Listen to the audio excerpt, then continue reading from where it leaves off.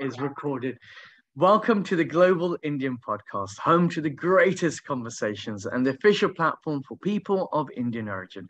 Because, yes, let's face it, we are everywhere. Now, you know, for our audiences out there in the digital world, every week we plunge ourselves into human experience behind our perceptions of identity, take a second look at the countries we call home, but also tackle the big conversations. This week, I'm joined by the wonderful Tim Jonas. He's going to be running me through the ideas that are reshaping the concepts of identity in Guyana. Tim, it is great to have you on the show. Thank you for joining me in the early hours in Guyana. Thank you very much for having me. It's Good. a pleasure. Tim, what's it like to be you? Because you've got this extraordinary background to yourself. Why don't you introduce yourself to the audience? Okay. Um, I am a Guyanese by birth. Guyana is a relatively new country. We achieved independence from Britain in 1966. So we're part of the Commonwealth, but we were very much a part of that trend in the 50s and 60s of um, independence of colonies and the creation of the Commonwealth. My father is Guyanese of Afro descent and can trace his ancestry back to slavery in Guyana. So on my father's side, I am descended from African slaves brought to Guyana under the British colonial system. My mother is English and met my father back in the 60s when he went to England to study and came to Guyana to marry. So she is European, and I am that interesting combination of a descendant of the enslaved on one side and English on the other side. I am Guyana's population is for the most part Afro and Indo, almost equally balanced. Now, that came about because after the abolition of slavery in 1838, um, because Guyana is geographically large, there was a need for labor. And therefore, an indentureship, indentureship system was developed where Indians were brought into Guyana to act as laborers in the place of the recently emancipated Africans. So that happened to such an extent in Guyana that the population by the turn of the 19th turn of the 20th century, early 1900s, um, there were actually more Indians than Africans in British Guyana. Now, at the time of independence, demographically, there were more Indo-Guyanese than Afro-Guyanese by a margin of maybe 10, 15%. I am married to an Indo-Guyanese woman whose grandmother is Amerindian. Now, the reason I'm telling you all of this is if you think of the racial um, composition of my children, you get confused very quickly because in there you got indigenous Amerindian, you got Indian Indian from the subcontinent, you got African, and you got European. So um, it's an interesting blend. And the reason I say all of this is that this is actually not uncommon. It's not unknown in Guyana.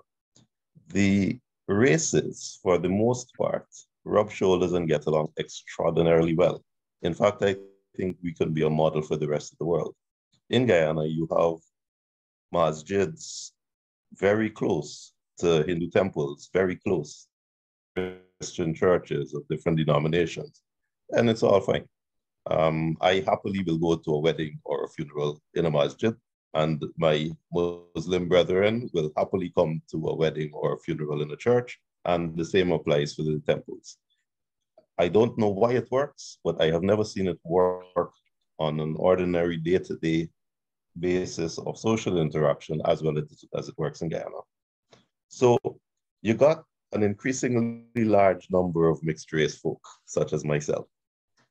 Um, that does not detract from the fact that we have in my opinion, a situation which is perpetuated by the political entities, a tug of war between the two large ethnic groups as to the control of government and who has access to the country's purse strings and who has access to the avenues of power. And that is where there is an ethnic divide continuing in Guyana that needs to be resolved. And it has been the intention of various Guyanese citizens since independence to try to provide a middle ground to resolve that. Guyana's obviously got the world's largest oil find. So this isn't just politics for politics' sake. There's a large amounts of money behind this as well. And I suppose there's a big fear. It's with great power comes great responsibility from the quotes of Spider-Man, but on the other side, with great with power corrupts and absolute power absolutely corrupts. And what are your biggest fears for a country like Guyana? Because if you're saying it's racially divided or ethnically divided along the lines of politics, does that have an income impact? Does that have a impact upon the way that the economic structures are put in place? It certainly does. Um, I'm going to challenge your premise. You started out saying that Guyana's come into a lot of money, and I don't believe that that will um, make the political tug of war worse. The fact that a country is wealthy or poor does not affect the intensity with which the politicians fight. Um, Haiti is the poorest country in the Western Hemisphere, and I wouldn't like to be a politician in Haiti. It's dangerous. The I can give other examples where whether the country is wealthy or poor does not affect the lifestyle or the power or the enjoyment of power uh, of the people who are in charge. So Guyana's tug of war existed before we found oil. It existed when we were a moderately well-off ex-colony back in the late 60s. It continued when we became the second poorest country in the Western Hemisphere after the political system wrecked our economy, and it continues now. It will continue even though we have found oil, but all it means is that the access to the wealth, um, there's a there's greater wealth than you have access to, but it doesn't change the dynamics of the tug of war and the need to be a power. I don't think the size of the purse affects the intensity with which people fight for power in a government. Do, do you feel um, it? That being you, said, I was going to say, do you feel that the fact that there's so much money at stake there, you're saying that that won't have an impact in, as, he, as you're saying, it won't have any intensity in the way that people fight with each other over this? Because we're talking about billions. Has been there all along. Yeah, and if you had one million dollars, if if you look at Papa Doc Duvalier and his lifestyle in Haiti, which was bankrupt, he had quite a nice lifestyle, and he held on to that goal with an intensity.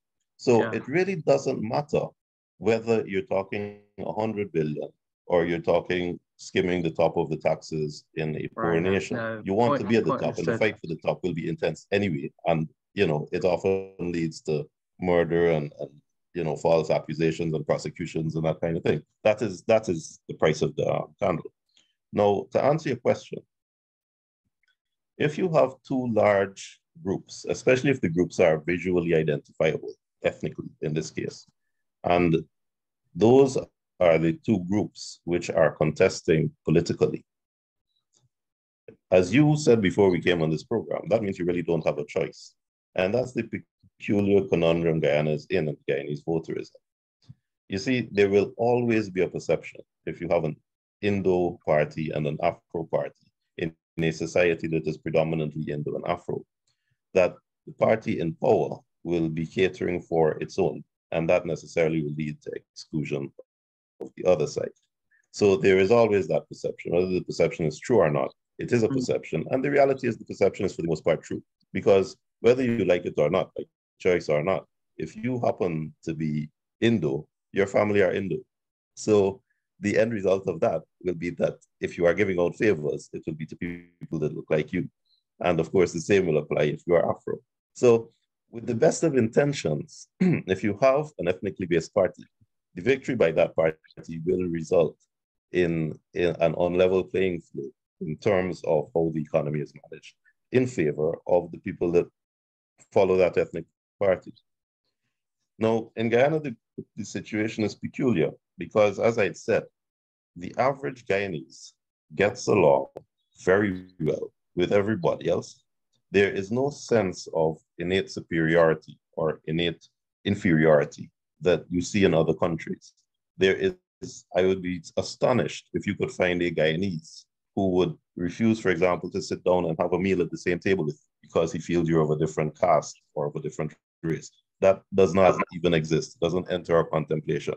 So the, the sense of intrinsic superiority that is so harmful elsewhere doesn't exist. We get along well socially. The poison is introduced at the political level. Now, for many years, and if you read, you will read Guyanese vote race, they vote along racial lines. And for many years, I had followed that mindset.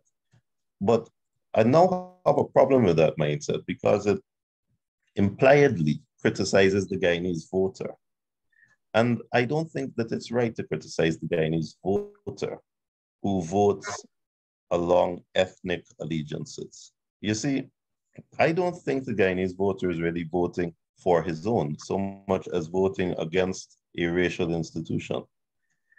Morally speaking, we have a duty to resist a racial institution. When the mm. Nazis were doing their thing, the minority of Germans who were brave enough to fight against it and were hurt so badly fighting against it were breaking the law. But they were doing the right thing, fighting a racist institution. Now, if you have a political party that is ethnically aligned, whether deliberately or just because the majority of its members fall within an ethnic group, it's immediately it becomes a racist organization. Because in its implementation of its policies, in who it favors, in the friends, in the family, there is already preference and there's already preferential treatment, whether or not it's deliberately done. And therefore, a Guyanese who recognizes that racist institution, not in his race, but in the race in the party that doesn't look like him, can't be criticized for voting against that party that doesn't look like him, that he knows will, if they're in power, be implementing policies that disadvantage people who do look like him. And the more I think about it, the more I think that a Guyanese who votes against the party that doesn't look like it is entirely justified. He's right. And more and more, what happens is that as we continue to vote race, as we continue to vote against that institution of racism that doesn't look like us, the party that is of the other color, we we propagate. We yeah. More and more move away from merit more and more move away from the accomplishments of the party, from their economic policies, from their real social policies. Those, those become irrelevant, they become secondary. Mm.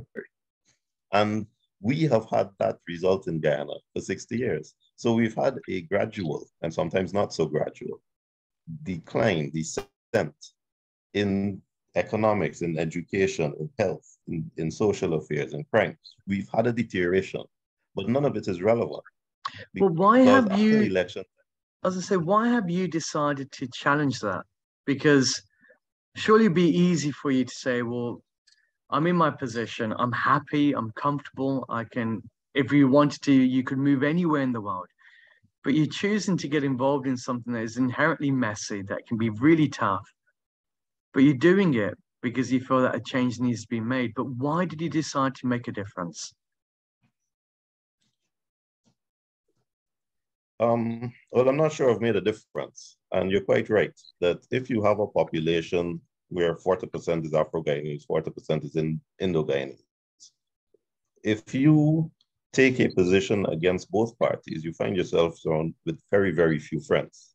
Yeah. Um, most of the people are already deeply entrenched, deeply indoctrinated, and, and blindly allied to one or other of the two parties. So you're left with very few friends. It's it's a thankless job. But as you said, if you only have those two choices when it's election time and you have to put your X on a ballot, you have no choice.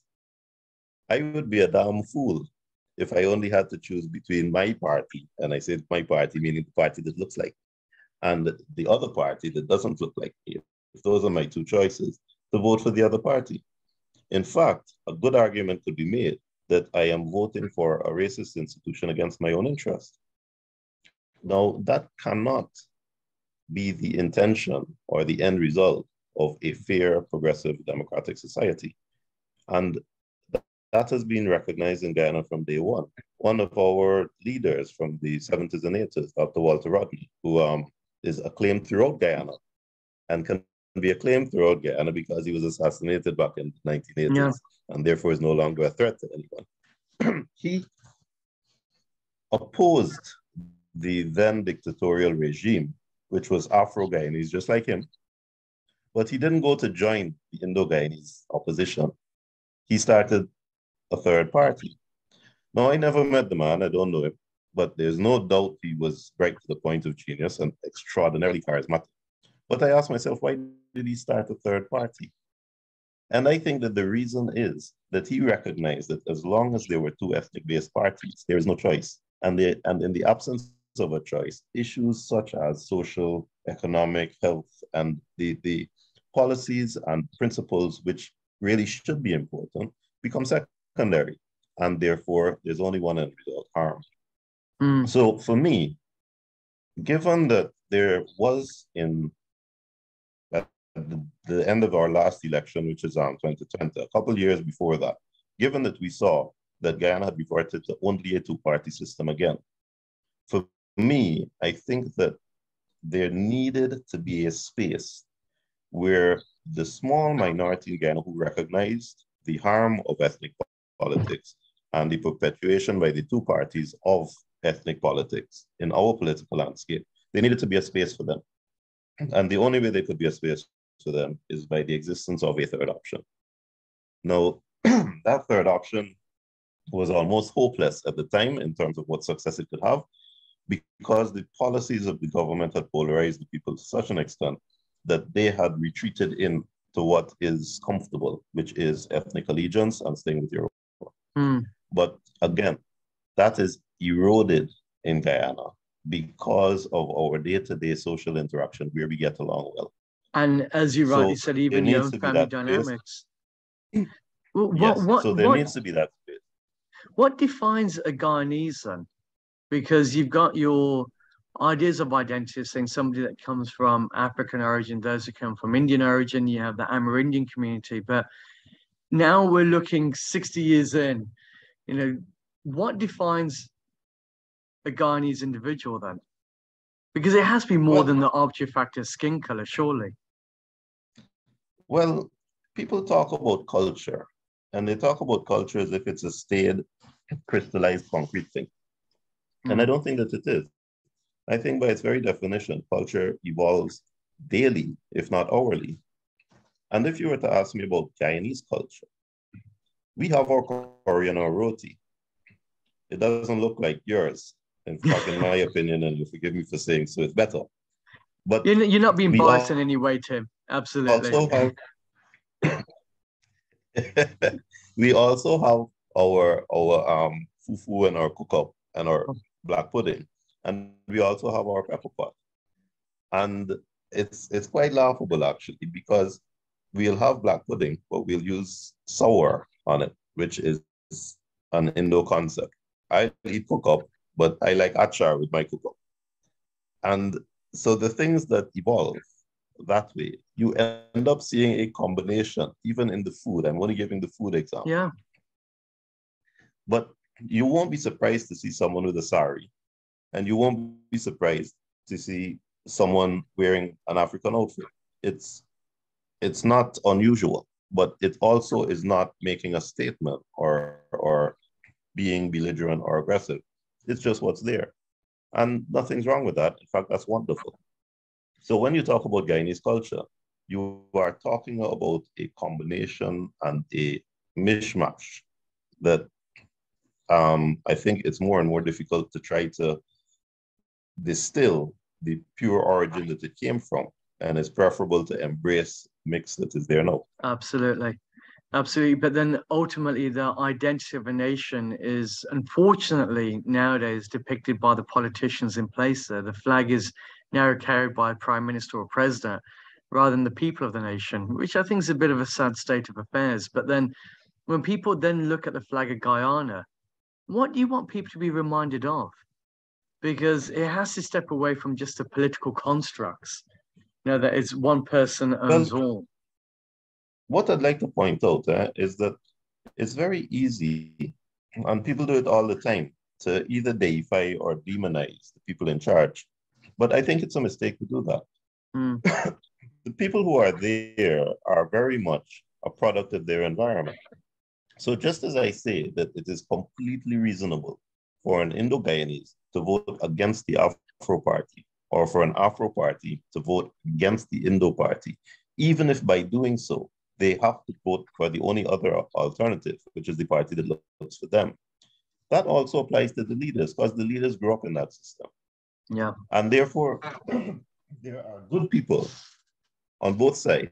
People who there are racists on both sides, don't be fooled. But there are also good people on both sides who are prominent within the parties, doing the best they can, trying genuinely, if they are in power, to reach out, but failing because they represent a party that is institutionally racist, that is institutionally exclusionary, and shows favor for their own. So people fool themselves and hope that they can change things from within the party. They say they'll join their party and they'll try and fix things. It doesn't work because the party intrinsically is part of the harm. That's interesting. I suppose with with all political movements, it does take change. It does take one person to stand up, as he rightly said before. You had the gentleman Rodney, and now you have yourself that's taken the battlefield. Like, what is your biggest fear for a country like Guyana? If things don't change, if it is still a two sided debate every five years? Well, corruption will get worse. um, social unrest will get worse because there will be a wider and wider gap between rich and poor. And our country has only 700,000 people. that means that the gap will be visible. You can't hide it. You won't hide it behind gated communities and separate societies. It's there in your face. So social unrest will get worse. And with more mismanagement and misspending, we will run the risk either of social unrest or that we continue along the line of poverty. And for that reason, there needs to be a system that is inclusionary so that the party and the ethnic group that has not won the government has a say in government, has a say in running the country, and doesn't feel excluded. Do you think Guyana is ready for a third party? Because I know prior to that you had the APNU. I think you had the president there. It was David Granger. Then you had the Prime Minister Moses Nagamootoo. And the whole idea was, was here's a party. There's a middle ground where we're going to talk about liberalism, where we're going to be bringing people together, but as you rightly said, it, it ultimately was the same type of sphere. And I remember I had the privilege of being in Guyana many different occasions, on one where I got to sit down with the heads there. And you felt that it was on the cusp of change, but ultimately never happened. No, President Granger came into power under a coalition with a third party the most successful third party in our history, a third party that had won seven seats in parliament by itself. Now, you got to look at that in context. Seven seats represents something less than 40,000 votes. And in a voting population of maybe 400,000, you are still under 10%. But that is the best that the third party has ever done.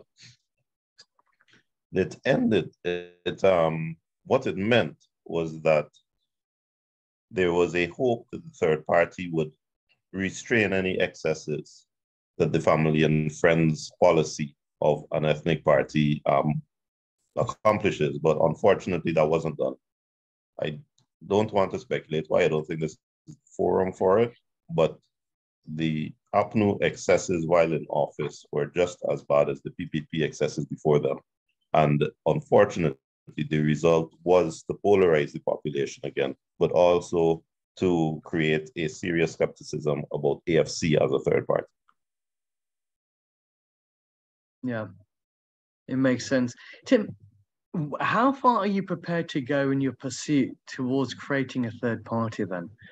Because again, ultimately, it's it's an incredible accomplishment the fact that you're looking at this and you're doing it with reason and logic and you're saying it i think in a very humanitarian viewpoint saying a country deserves an opportunity to grow that aviation society grows together that there's no divides because ultimately we're all the same people we're all the same ethnicities we're all the same we're all the same species on the back of the planet but for you your overarching vision how far are you willing to go in your own life to do this knowing the sacrifices that have to be made for any politician entering into these spheres I, I feel like, I'm, I, I feel like I'm making you a messiah right now, Tim. it feels that way quite strange. Well, well, I laughed when you asked the question because I, I, I sensed that this was the time for me to give you a rousing speech about, you know, victory or death. But the true, the true answer to your question is that I simply don't know. Um, if I've got the energy and if I've got the wherewithal, I will try my best. Um, I, I believe a human being has an obligation to try his best because there's so many unknowns. The existence of God is an unknown. So you try your best, you do the best you can. And if you see light at the end of the tunnel, good. If not, at some point, you have to give it up. But I can't answer your question as to how far you go. You do the best you can on a day to day basis. Tim, I, I can see that you're struggling with a cough there. So I don't I don't want to have you on for any any longer than you need to be. But it's it's been an absolute pleasure to have you on. I think it's really interesting just having a look at the dynamics of politics because where we look at it globally right now, it is polarizing. We're seeing the situation in the UK right now inwardly with the Conservative Party. And again, the UK, as much as we say we've got three parties, it is a two-party system. We've seen obviously situations in the US. But the fact that you're throwing your hat in the ring should throw light to many other individuals out there in the countries that they call home to say we have to do what is right for the country as a whole to progress and not just for a particular community because ultimately know, skin color is just an arbitrary factor to our humanness. It cannot be a personal brand. It cannot be the only defining sector. I think a great example of that is even your own family system. You said that you have those people who are voting on skin color. I'd hazard to say like how how African African do you have to be to vote on one side, and how Asian Indian do you have to be to vote on the other? Because after a while, you're going to have more people like your children. You know, what are their choices? Is this ultimately an opportunity for people like your kids to have a third party that says, we represent your interests too, then? Well, if any of your listeners was disappointed that they didn't get a rousing speech from me, they certainly got one from you. Congratulations. you would make a very good politician, Rajan. Um, to answer your question, I think that is where Guyana is evolving, and that is our future. You see, I, I gave you the example that um, at independence, the demographics showed that there were more Indo-Guyanese than Afro-Guyanese, but that has actually been eroded, and now they're pretty well balanced. There still is a slight demographic advantage um, to the Indo faction, but they are much more closely balanced. And in fact, the People's Progressive Party lost the 2015 election by only about six, 7,000 votes, only one seat. Wow. And the next election in 2020, they won, but again, by only one seat. One seat represents about 6,000 votes. So it's razor thin. And the reason for that shift is the increase in mixed race. That's so very interesting. It, it, well, I'll tell you, even as at 1992, 1997, the division was much starker. Their victory was by a much more comfortable margin. And I rather suspect they are looking down the road and they are seeing that the demographic is changing and that that lovely cushion that they have of a solid demographic advantage is becoming very thin. I think you'd mentioned oil money, and I think that the intention, the hope, is to use access to the oil money to build roads and build bridges and build this and build that. On each occasion, um, demonstrating to Guyanese what a wonderful government they have. Unfortunately, as you know, free money, which is what our oil money is, we haven't done anything to earn it. It's just money that lands in our account. The expenditure of free, free money is not to be equated to sound fiscal responsibility and prudent management. And we are not seeing those attitudes. So the loyalists will always be loyal, but it doesn't, it's not going to work.